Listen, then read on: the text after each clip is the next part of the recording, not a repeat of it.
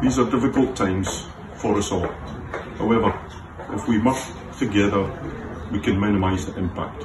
That means looking after yourselves, looking after your families, especially the elderly.